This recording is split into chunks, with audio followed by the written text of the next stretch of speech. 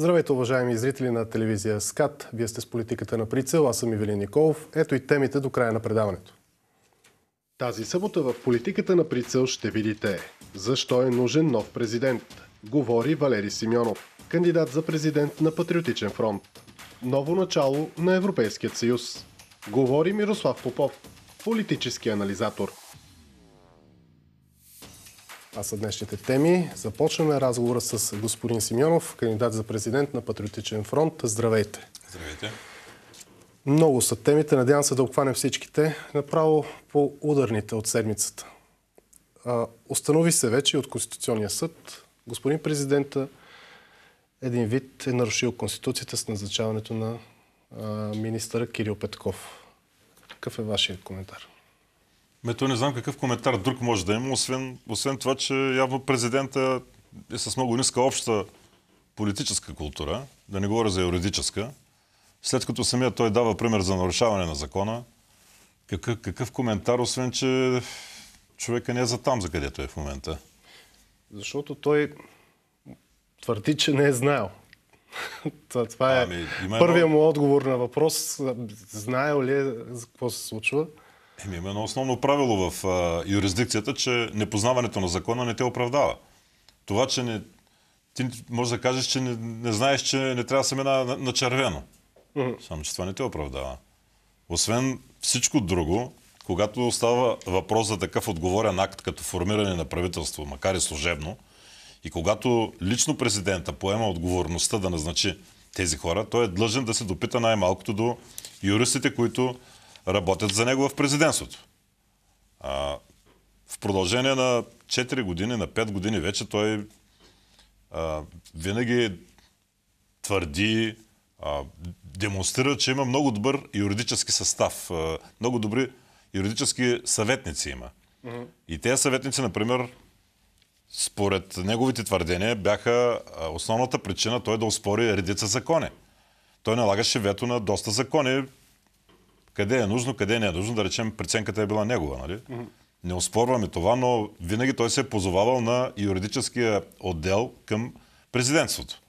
И някак си не мога да, да приема, че когато трябва да извърши един много сериозен акт като назначаване на служебно правителство, за който той много добре знае, че носи отговорност, той няма да, да извърши необходимите консултации или да направи нужните юридически проверки, за да установи тези министри дали отговарят на изискванията на Конституцията на закона. Така че аз не мога да приема едно, едно такова оправдание, не съм знаел. Това не, тук не става въпрос за нещо да го спрат на улицата и да го питат как мислите по това въпрос и това нещо да се обърка или да не е информиран. Тук става въпрос за служебно правителство, което, което е подготвено поне месец. А, доколко има основание, въобще адекватно ли е на този етап да се говори за импичмент при положение, че няма парламент.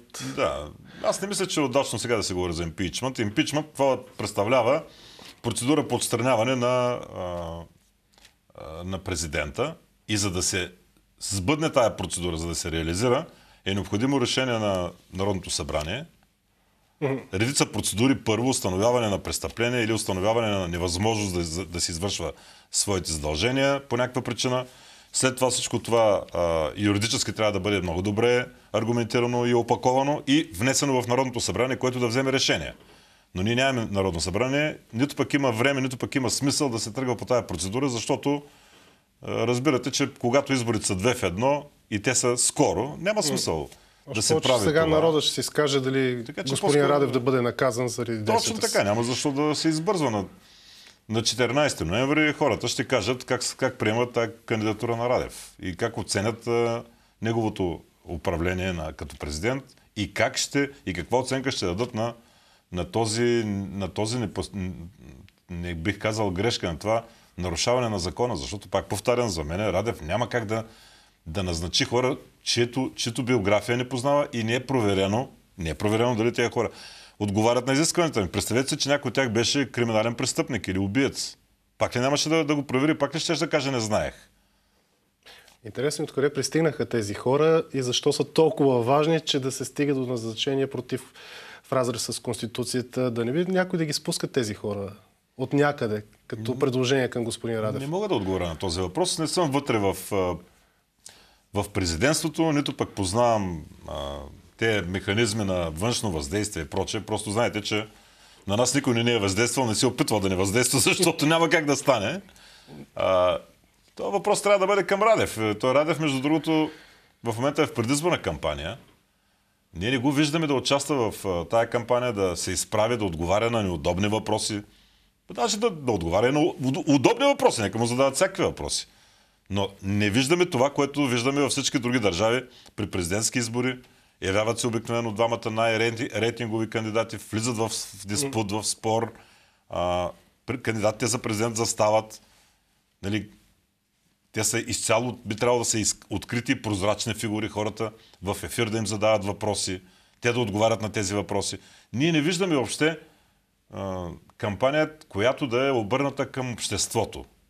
Какво прави господин Радев? Виждаме как той ходи на отделни места, прави някакви срещи в градове, в а, а, предприятия. Нали, това прави. Така, mm-hmm. наблюдавам го последните 10 на дена. И за мен възниква един въпрос. Всъщност, този човек познава ли законите на държавата? Защото закона повелява, ако заемаш някакъв пост или длъжност, ти да си вземеш неплатен отпуск. По време на изборната кампания. Значи, ако примерно един областен управител иска да се кандидатира за президент или за народен представител, или пък един държавен служител, или пък един офицер от армията, или даже един учител, преподавател, в, нали, той си взема отпуска. Аз нещо не виждам президента да се е взел отпуска, защото в един и същ ден го виждаме как той отива, прави срещи. И на тези срещи той се явява като президент. Виждаме го как прави изявление като президент. И въпросът е, в момента той е в отпуска ли е, президент ли е или е кандидат за президент. Това са две различни неща. Той не може едновременно да, да носи двете дни под една мишница, защото е забранено от закона и от Конституцията. Това е интересен въпрос, нали? Защо никой не го задава? Той в, в отпуска ли е в момента? Как? Ако е в отпуска, е в той, трябва, той, трябва, той няма право да ползва президентската си лимузина. Той няма право да ползва кабинетите си. Така както един държавен служител, като се вземе отпуска, излиза и в предизборната кампания той се занимава само с агитация, с интервюта, нали, с срещи с избиратели, но не, не ходи в неговата работа. А президента всеки ден си е в президентството. Не мога да разбера. Преди една година, когато господин Радев излезе и размаха юмрука и поиска оставките на парламент, министри и главен прокурор, не трябваше ли, според вас, трябваше ли партиите да реагират всички остро на това поведение. Още повече, че между другото ние сме единствена телевизия, която му зададе въпрос тогава. Когато твърдите, че има мутри и мафиоти в Министерския съвет и прокуратурата, пуснахте ли сигнал срещу тях, защото така се прави, нали? С, с такива силни думи да излезе не кой да е президента, значи той знае за конкретни мутри и мафиоти. Оказва се, че не е пуснал сигнали. Трябваше още тогава партията да се подсетят, че нещо не е, не е както трябва. Ами... И да реагират, защитавайки не бившите управляващите, управляващите се сменят, ами демокрацията или тя не е застрашена. Въпросът е абсолютно основателен. И той почива на един общ законов ред в една държава, както и за, почива и на а, очакването, че политическите партии или политическите сили, защото има и коалиции, в една държава, би трябвало на първо място да а, съблюдават законността и, и интересите на държавата, в която те функционират. За съжаление в България не е така. В България много често виждаме как интересите на партиите а, доминират. Те, те са над националните интереси за самата партия. Mm-hmm. Самите партии фактически спазват закона или не го спазват, като цяло формират своето поведение в зависимост от тяхно, техно, тяхно партиен, тясно партиен интерес. С други думи, нашите партии в България се водят на първо място от своят партиен егоизъм. С други думи, кое е най-добре за нашата партия. Mm-hmm. Няма значение какъв е закона, няма значение кое е редно или кое не е редно. Важно е как, от, по какъв начин нашата партия може да извлече полза. И точно по тази причина партиите, особено тези, които сега вече ги наричаме партия на протеста и които влязаха в 45-46-то Народно събрание, не само, че не реагираха, напротив, те бяха много щастливи, че президента взема една политическа позиция, която беше крайна и което беше недопустимо за президентската институция. Президента е а, обединител на нацията. Той трябва да олицетворява, както казва Конституцията, единството на нацията. Той не може да бъде крайно политически ангажиран. Значи, преди да стане президент, той може да е бил член на партията, но стане ли президент, край. Той става президент на целия български народ. И той е длъжен, длъжен да няма политически пристрастия, нито да ги демонстрира, нито да ги обявява, нито пък да, а, да се опитва да организира част от партиите в коалиция, както той се опита да направи, срещу управляващите. С други думи, неговото поведение беше изключително, как да кажа, а, не, не, не, безотговорно беше неговото поведение и също говореше за едно непознаване, непризнаване на закона. Сега, тези партии, питате ме тези партии, защо не са реагирали? Прави, прави, правилен е въпросът ви, защото когато президента с юмрук насочи недоволството, уличното недоволство към определени партии или към определена а, изпълнителна власт, той по този начин взе крайна позиция и редно е, би било редно, партиите да, да реагират на това, като изразят с позиция, че президента би трябвало да, да си, да, всъщност да, да а, изпълнява това, което трябва да прави, което му се изисква за неговата институция. Но не е да се ангажира с политически пристрастия. Вие... Но партиите тогава си направиха сметка, например, БСП не реагира, защото за БСП беше важно и в техен интерес беше да се, да се води такъв, колкото се може по-масштабен, да се отвори колкото се може по-масштабен фронт срещу управляващите. Искам тук да направя уточнение. Аз не управлявам, не, не оправдавам ГЕРБ. По никакъв начин не оправдавам ГЕРБ. Особено корупционните схеми, които станаха известни напоследък с язовирите, с магистралите, с а, свачеща неща, които истината, че не бяха известни нито на нас, нито като коалиционни партньори, нито пък бяха публично известни, нали? Или пък доказани, както стана след като се смени властта. Но независимо от това, а, ГЕРБ трябваше, а, значи БСП не трябваше да заеме такава позиция, мъл, изчакване, мълчалива или пък подкрепеща. Не трябваше да го правят даже и, примерно, Демократична България. Ако това беше партия отговорна и партия, която а, милее за интересите на, на държавата и на, на населението, тя не би трябвало да влезе в този, в този сговор, който, който беше направен с потимурка на Радев. Да не говоря за другите партии. Вие ми нищо... посочихте две партии, да. които в момента много страдат от действия на Румен Радев зад колисни, които излизат по медии и така нататък. Очевидно са в много обтегнати отношения и тези две партии страдат заради пропрезидентския проект. Те почнаха вече да, да, се, да че... роптаят срещу да, Радев. Но вече... Отделни членове се изказват против него, даже от БСП се изказва, имаше изказване против Радев. Затова ви задавах този въпрос. Кога трябваше да разберат, че нещо не е вред? Когато вече почнат да страдат и те, ама то вече е късно, може би. А... Еми, късо... това се казва политическо късогледство. Когато си гледаш интереса на момента. На момента, в момента на протестите, когато започнаха протестите, техният интерес беше такъв. Дайте сега да, да се обединим и да свалим Бойко Борисов, да свалим управляващите. Сега вече интересът им е друг. И както виждате, тяхната а позиция се променя. А вие как щяхте да реагирате? Факт е, хората знаят, като вице-премьер си критик, критикувахте собствения кабинет. А, за е, правителство, в което участвахте, а, после от парламента, само че бяхте в малко по-друга позиция. Щяхте ли да бъдете също толкова крайен на моменти, както бяхте като лидер на партия, ако бяхте на, на място на президента?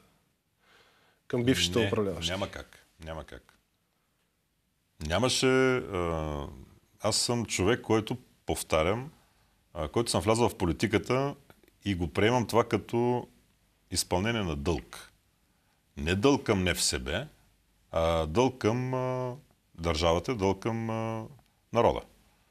И когато ти имаш такава кауза, няма как да, да работиш или да действаш за разделянето на нацията, за противопоставянето на отделни групи от а, населението, едни срещу други, даже на политически принцип. Напротив, би трябвало президента в, в тези случаи даже да вземе една умир, умиротворителна позиция и най-малкото да не провокира, да не бъде инициатор на а, силови действия. Защото в резултат от от неговите закани, нали, мутри вън, действайте, аз съм с вас, насърчавам ви, се стигна до тези отвратителни сцени, в които български граждани замеряха с павета български полицаи. Български граждани хвърляха бали, бали с слама под краката на полицаите и ги паляха. български граждани бяха готови да убиват. За съжаление, аз, т.е. има разлика между И- и лидера на вината- партия, депутата, вице-премьер и президент. И вината на президента е повече от а, категорично ясна. Аз за тези бали, тези всичките неща, наскоро а, прочетох а, ваше изявление, не знам обаче, понеже напоследък медиите цитират кой както му падне. А, за- заподозрели сте някакъв вид синхрон между един избягал бизнесмен в Дубай и, то всички го знаят президентската това. институция? То това няма, няма откритие. Бяха засечени разговори с специални раз- разузнавателни средства между Васил Бошков от Дубай и депутат от БСП, от коалицията, в който той се директно му казваше «Хе, колко е смешно, колко е лесно да управлявам протеста. Просто като се пуснат няколко, а, нали, няколко мнения или няколко указания в интернет, в Фейсбука и цялата тълпа тръгва на там, на където ги насочвам. Той беше щастлив. Всички го слушахме този запис, нали? Вижда се, че Васил Бошков е имал пряко въздействие върху митингите, върху шествията, върху протестите. Каза също така в прав текст, че е плащал и това е безспорно доказано. Обаче един от двамата има безспорен имунитет. Има единия, да. Президента има имунитет, но въпросът е такъв. Смисъл, Господин ще се- може най-много снимка да си направи с него на този етап. кога, кога най-сетне ще се а, изнесе информация по това разследване, което продъл- продължава вече повече от година, по тези телефонни записи, кога най-сетне ще се а, изнесе някаква информация, която е много важна, особено в навечерието на президентските избори, за да се знае хората за кого да гласуват. Ние очакваме да се изнесе, изнесе информация доколко Румен Радев има връзка с Васил Бошков.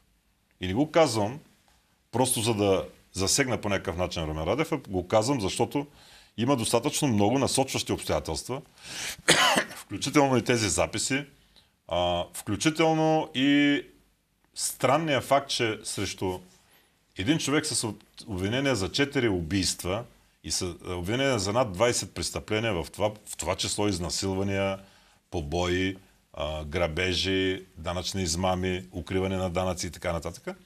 Срещу един такъв човек в продължение на вече на повече от година, ние не сме чули президента да се произнесе. Искам да припомня, че 18-та година, само да завършвам, извинете, 19-та година, април месец, президента Радев направи консултативен съвет а, за национална сигурност по един единствен въпрос. Въпроса с покупко-продажбата и скандала на апартаменти. Не знам дали го помните. Април месец 18-та година. Не мога да се сетя. Направи такъв консултативен съвет. За кои апартаменти? Като на на Цветанов, Цветан, и... На Цветан Цветанов, на Цецка Цачева и така нататък. което е малко смешно, преди, Да. че не му е място там. Как да? Но, а, като предполагам, че като отговорен президент, той а, е направил а, консултативен съвет по един много важен за държавата въпрос. Така, от тогава до сега, той не е проронил нито дума за Васил Бошков. Не е проронил, проронил нито дума за големите олигарси. С други думи, от 18-та до сега, като че ли нищо не е станало и като че ли от 18-та година до сега най-голямото престъпление в България е било това, че са си купили на данъчна оценка апартаменти някои политици. Няма го Васил Бошков. Васил Бошков с цялата си а, зловеща биография, на, пак повтарям, на убиец, защото има четири обвинения за убийства. Четири. Не едно, не опит за убийство, а за убийства става въпрос. Четири обвинения има. С всички други престъпления, някак си президента нито веднъж не го е споменал. Президента нито веднъж не взе отношение към другия а, финансов престъпник, който завлече България с, с а, някъде към 10 милиарда. Това е Цветан Василев. Ще продължим Да. по, и по тези теми, и по други, а, веднага след новините на телевизия СКАТ. Така че след малко се връщаме. Купуването и продаването на гласове престъпление.